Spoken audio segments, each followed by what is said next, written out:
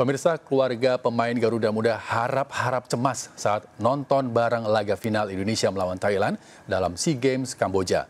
Sorak-sorai pecah saat timnas Garuda mengalahkan tim Gajah Perang dengan skor akhir 5-2.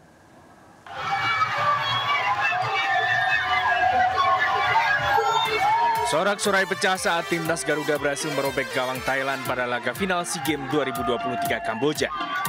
Keluarga dan sejumlah tetangga gelandang tengah timnas Garuda Muhammad Taufani Muslimuddin selasa malam menggelar nonton bareng di kediaman orang tua Taufani di Jalan Kejawi Permai Tenggarong, Kalimantan Timur.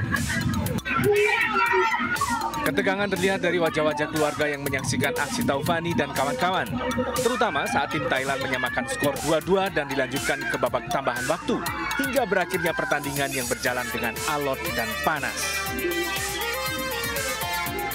Kegembiraan atas kemenangan timnas Indonesia 5-2 atas Thailand diluapkan orang tua Taufani Musliuddin dengan sujud syukur malam ini merasa bahagia. Ternyata doa-doa kita semua, doa masyarakat Indonesia, doa masyarakat kita negara, doa khususnya kawan-kawan di Tenggarong ternyata dijabah oleh Allah Subhanahu wa taala. Selasa malam juga dipenuhi sanak famili yang menyaksikan laga Hernando Ari pada final sepak bola SEA Games 2023 Kamboja. Yel-yel tak henti diteriakan menyemangati kiper utama timnas Indonesia tersebut. Setiap kali Hernando Ari berlaga, keluarga selalu nonton bareng.